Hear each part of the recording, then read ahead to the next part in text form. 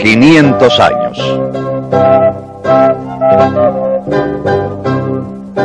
Basada en la obra de Eduardo Galeano, Las venas abiertas de América Latina.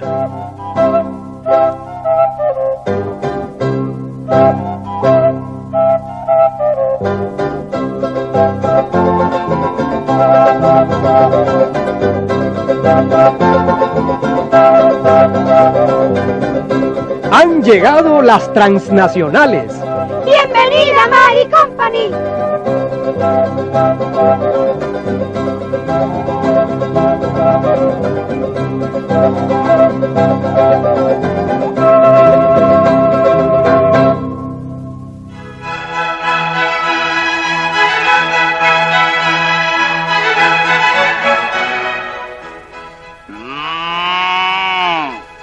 Amigo ganadero, sus vacas distinguen lo mejor. Y lo mejor es el pienso Mari. La calidad se paga. Para su ganado, Mari, de la Mari Company.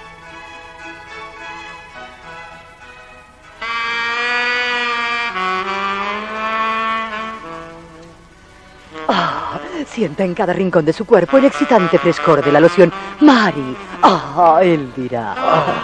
Y ella también dirá. Ah, loción Mari, de la Mari Company.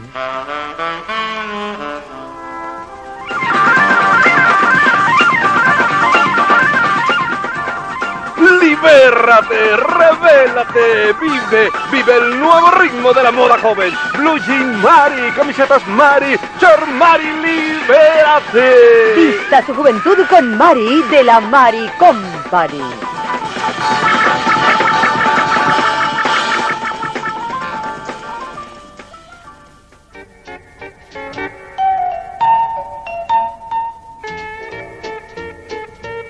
La International Mary Company Brothers Association era una gran empresa, una poderosa empresa, con industrias en todos los países, desde la Patagonia hasta la Cochinchina, desde Alaska hasta Bombay y desde Bombay a Hawái, por todo el mundo se vendían y se compraban sus productos. Y sucedió que un día la gran empresa llegó al Brasil o a México ¿O fue en Colombia? Da igual.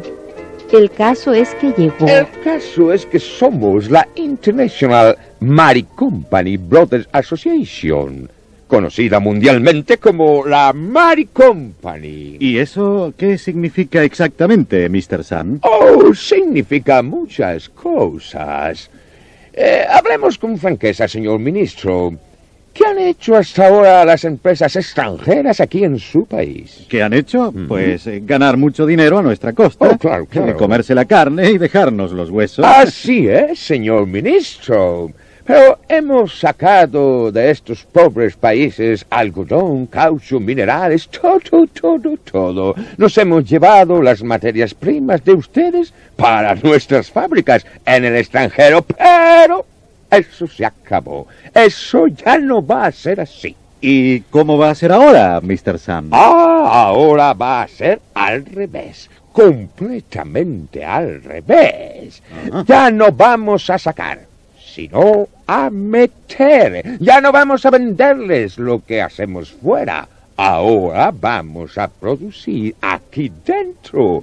Gran cambio, gran cambio. Como de la noche al día, ¿eh? ¿Comprende usted, no? Comprendo. Antes les comprábamos el hierro y les vendíamos los automóviles. Ahora vamos a poner aquí la fábrica de automóviles. Ajá. Señor ministro, ratificar es de sabios. Hemos comprendido que tenemos el deber de ayudarlos, de industrializarlos a ustedes. La más grande industria del mundo, las más grandes estarán aquí dentro, en su país. Pues me sorprende ese cambio, Mr. Sam, me. Ah, pero a mí me sorprenden esos niños desnutridos que veo por las calles de este país. Es verdad, es verdad. ¿Se habrá fijado usted, señor ministro, que Mary Company lleva el nombre de Mary, el nombre de la Virgen María? Es verdad. sí. La Virgen tan querida por sus piadosos pueblo. Pues bien, María alimentó con su leche al niño Jesús y Mary Company quiere alimentar con su leche a los niños de todo el mundo, ¿ok? De todo el mundo. Entonces, sin sacar fuera nada, nada, nada, ni una vaquita, ni una gotita de leche, queremos hacer aquí una gran industria de leche en polvo de la mejor calidad. Pero, Mr. Sam, en mi país hay ya tres fábricas nacionales de leche en polvo. Oh, lo, lo sabemos y nos alegramos, claro que sí, no importa, no importa que haya tres o que haya seis, el sol sale para todos y Mary Company viene a colaborar al desarrollo en el espíritu de la sana competencia. Por cierto, Mr. Sam, Yes. ¿de qué país es la Mary Company? El acento suyo... Ah, oh, um, acento mío, oh, yes, yes, yes, eh, mío, mío, soy americano, Ah. United States, yes, United States, pero Mary Company es norteamericana, ¿Lo es? sí, pero no, no, pero sí. A ver. Eh, eh, quiero decir que no es solo norteamericana. Hay capitales europeos, hay patentes internacionales, están también los japoneses. ¿También? Eh, señor ministro, la International Mary Company Brothers Association es una empresa transnacional, ¿ok? ¿Ha comprendido usted? Transnacional, es decir, una empresa con una casa madre en los Estados Unidos, ¿Solo? United States, ¿ok? Pero con hijas por todo el mundo, que quiere servir con productos de la más alta calidad a todos. Lo mismo a los negritos del Congo que a los americanos de Michigan. Y con la llegada de estas nuevas empresas transnacionales, ¿ok? Transnacionales, Sí, sí, sí, estamos a las puertas del milagro económico en los países pobres. Y para que tan gran milagro fuera posible, el gobierno de aquel país pobre abrió de par en par las puertas a la Mary Company.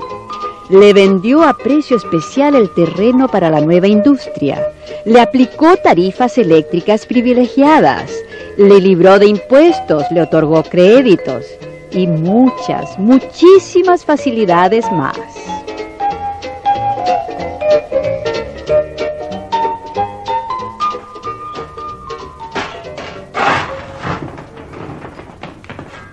Clase de edificio, compadre, ¿eh?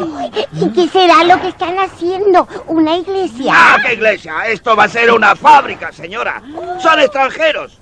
Mary Company pone ahí, ¿no lo ves? ¿Y qué Mary Company son esos? Y yo qué sé. Yo lo que sé es que van a meter ahí adentro a 10.000 obreros. Ah, mi primo ya tiene trabajo, está apuntado. Dice que los sueldos son de, vamos, por las nubes. La vida que esto le va a dar a la ciudad. La verdad es que esta vez sí se han portado bien con nosotros los americanos. Nos han traído el desarrollo a casa. ¡Ay! Gracias a la Virgen que les ha tocado la conciencia. ¡Qué buenos estos señores! ¡Y qué buena leche tienen! Ya la están anunciando por la televisión. Señora, con la salud de sus hijos no se juega. La leche Mari es poquísimo más cara que las otras. Pero la leche Mari es muchísimo más pura que las otras. La calidad se paga. Ya llegó, ya llegó la leche Mari de la Mari Company. ¡Mami, dame Mari!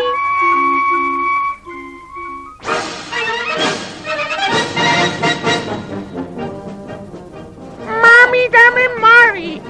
Mami, dame Mari. Es lo que repiten los niños de todo el país. Pues bien, queridos ciudadanos, para que todas las madres puedan armar y a sus hijos, inauguramos hoy esta colosal fábrica de leche en polvo de la prestigiosa firma International Mary Company Brothers Association. Cortamos la cinta azul, color del manto de la Virgen María, y abrimos para todos las puertas de esta nueva industria.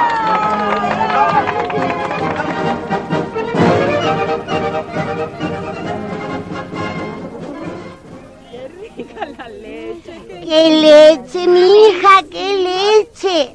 Es que lo que viene de fuera es otra cosa. La calidad se ve hasta en la etiqueta. ¿Has visto qué lindos los envases? ¡Qué limpios! ¡Mami, mami, mami, mami, mami! ¿Ve, abuela? Mi muchachito ya aprendió de la televisión. ¡Qué rico!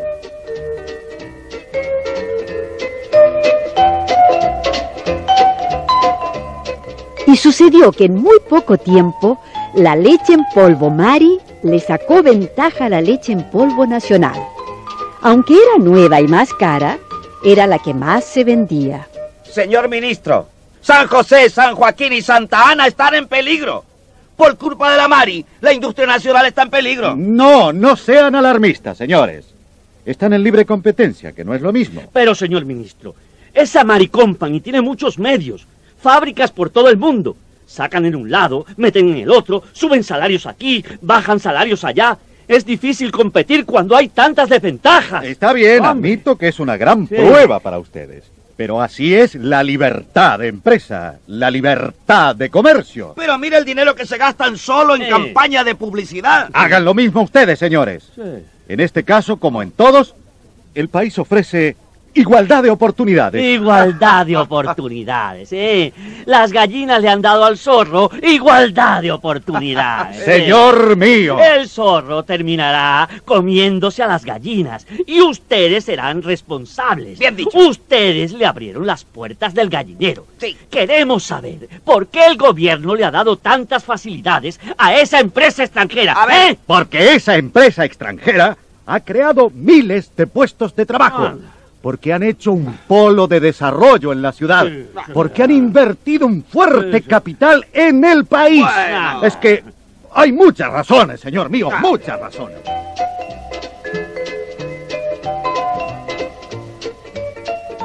No hay nada que hacer, socios. El señor ministro debe tener también sus razones. Ya es un Mari Company.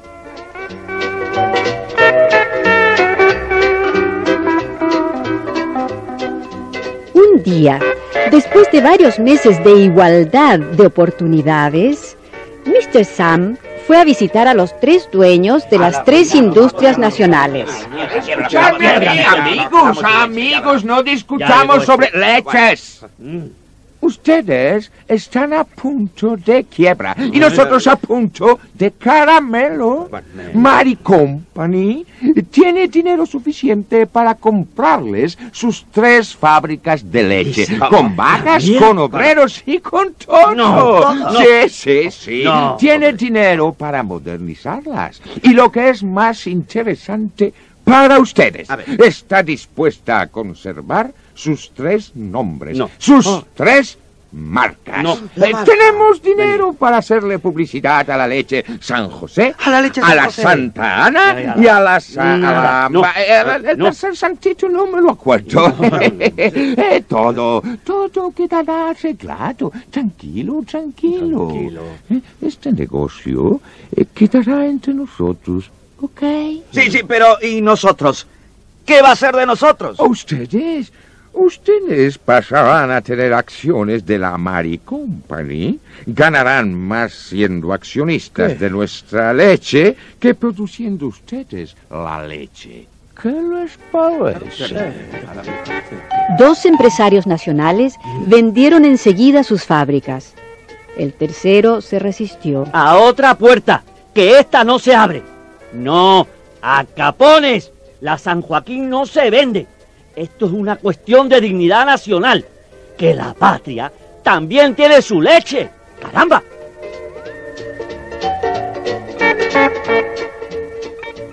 Entonces, la Mary Company bajó sus precios. Y bajando precios y subiendo anuncios, acorraló a la leche nacional San Joaquín. Poco tiempo duró la guerra.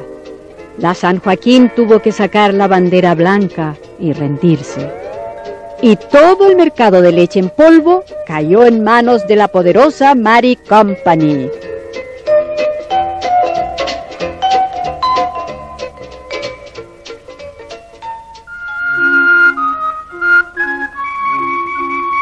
Abuelita, dame San Joaquín. Señora, usted debe darle San Joaquín a su nieto. Señora, usted puede darle San Joaquín a su nieta. Más calidad y menos precio en cada lata.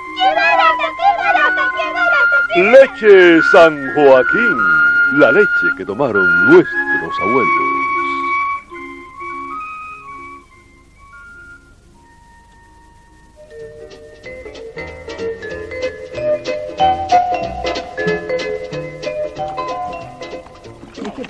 Pues yo me quedo con la Santa Ana, que es la que está saliendo ahora más económica. Ay, no, vecina, mija, pero no hay quien les quite la Mari. Es más cremosa. Pues los míos, si no la San José, es un llanto. Yo ya estoy acostumbrada a mi San Joaquín. No le agarra cariño a su leche. La costumbre. Claro que yo no sé a ustedes, pero a mí todas estas leches me saben ya lo mismo. Y aunque todo el mercado de leche en polvo estaba en manos de la poderosa Mary Company, casi nadie lo sabía. Señor ministro, el niño toma primero la leche, ¿ok? Ok, Y después ensucia el pañal, ¿verdad que sí? más bien. Bien. Ya les trajimos la leche Mari. Es verdad. Ahora queremos traerles los pañales Mari. Ajá.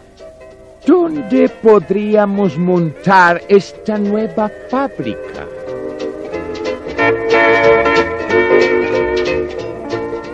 Por bueno que sea un pañal, puede dañar la delicada piel del niño. ¿Conoce usted el talco Mari y el champú Mari? Los niños crecen, juegan, ríen, corren. Mari fabrica juguetes educativos. Podríamos montar también un parque de diversiones, ¿ok? Películas infantiles, libros, caramelos, cereales, camisetas, jarabes, compotas, pelotas. Todo, todo para el desarrollo de la producción nacional. Pero de producción nacional. Lo que se dice nacional. Ya solo quedaban los niños.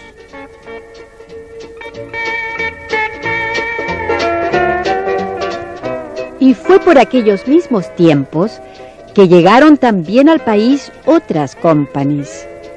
Compraron la industria del calzado y la del tabaco. Pusieron fábricas de fideos y de pinturas, de automóviles y de radios. Compraron cadenas de cines y de restaurantes. Era el milagro económico de las transnacionales que, colorín colorado, apenas ha comenzado.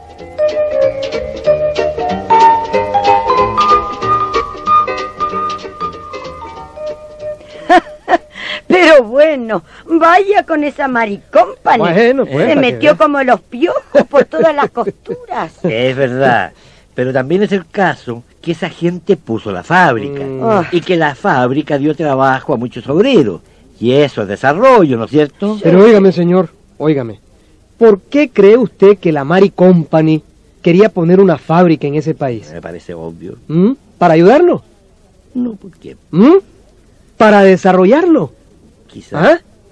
No, amigo, no. En todo este asunto hay un truco. Mire, las maricompanies, las transnacionales, tienen industrias igualitas por todo el mundo, para que lo sepa. Ujú. Ah. Ponen fábricas por todo el mundo, para que lo sepa. Con los mismos dueños, señor. con los mismos dineros, las mismas marcas, Ah, todo, todo es Escuche, igual. escuche. Solo una cosa cambia. Y ahí es donde está el truco.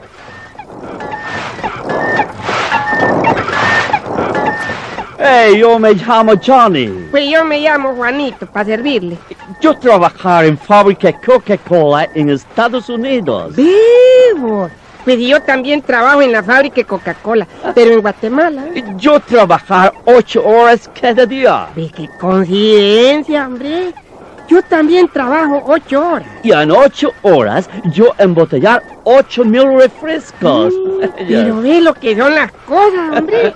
Yo también embotello ocho mil refrescos. Y por mi trabajo yo ganar 20 dólares al día. ¡Hala! ¡20 dólares! Yes. Y a mí nomás me dan dos pesos. 20 dólares, my friend. Dos pesitos. Dos pinches pesitos, mi hermano.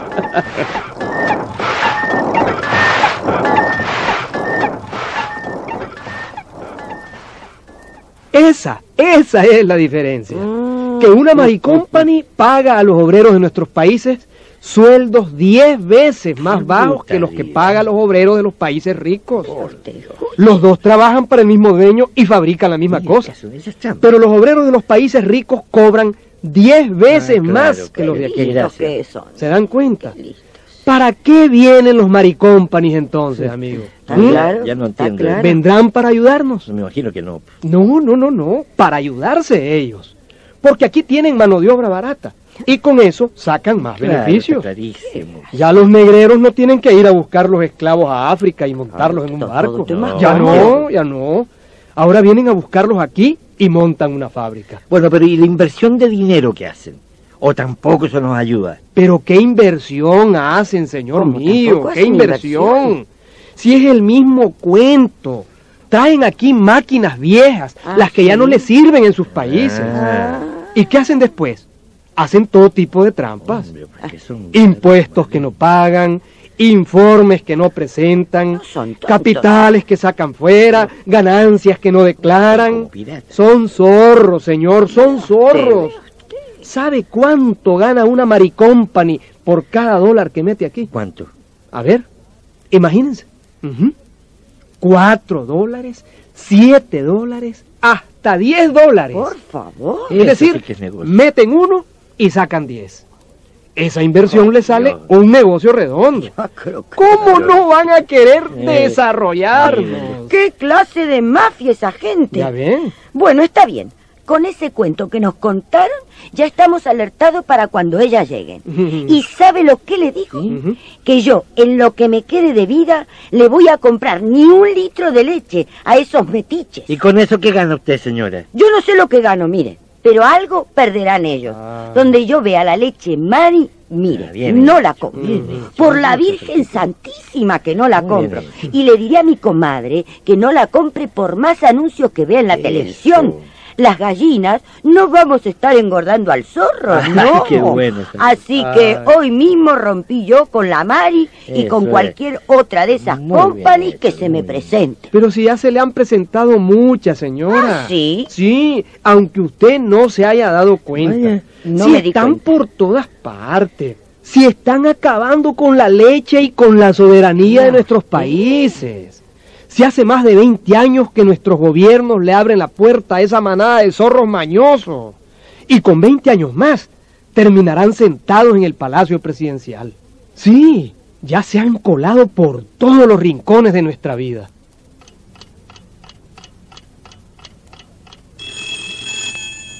La vida de Pepe empieza cada día a las 6 de la mañana. Con un reloj Omega.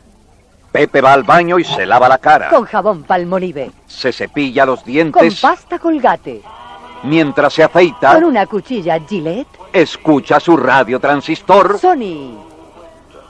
Pepe se viste rápido, con una camiseta, Lacoste. con unos pantalones Levi. y con unos deportivos zapatos. Hash Puppies.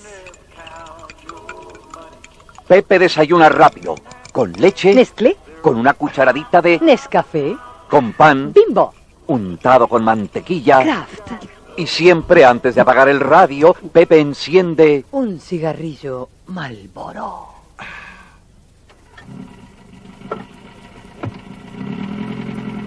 Pepe trabaja en la fábrica de automóviles Volkswagen. Cuando apenas amanece, una camioneta Toyota le lleva a su destino.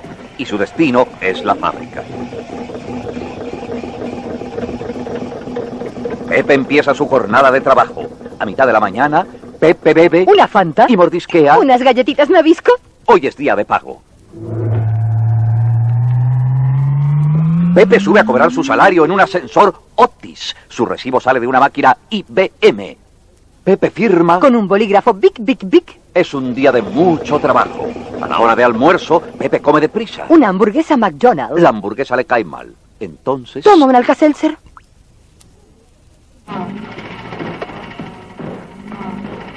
Pepe llega cansado al final de la jornada. Al autobús en el que regresa se le pincha una goma, pero hay repuestos Goodyear. Pepe llega a su casa, enciende la cocina, Westinghouse. calienta una sopa de tomate, Campbell. pone un disco RCA Victor. en su tocadiscos. General Electric. La cabeza le estalla, apaga el tocadiscos. Enciende el televisor. Es un televisor Telefunken. La cabeza le estalla, ojea una revista. Es una revista Playboy. Apaga el televisor, suspira y mira el retrato de su novia. Es una foto Kodak. La cabeza le estalla, suspira y mira el techo. Es un techo pintado con Sherwin Williams. La cabeza le estalla, toma una pastilla. Es una aspirina Bayer. Entonces decide acostarse. Apaga la luz. Es un bombillo Philips. Deja caer su cuerpo sobre la cama. Es un colchón Flex.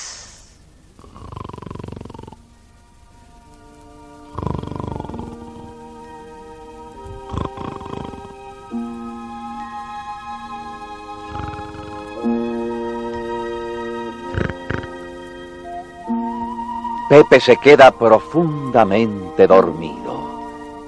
Sueña, es feliz, corre, corre ágilmente por un prado verde, respira a pleno pulmón, por fin se siente libre, ríe, corre, juega como cuando era niño, corre, ríe, juega con una pelota. Es una pelota Adidas.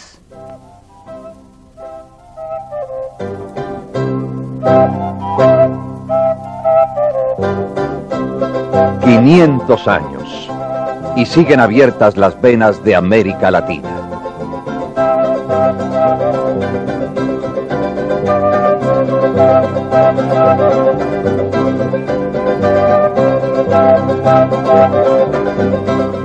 Una producción Coradep, escrita por José Ignacio y María López Vigil.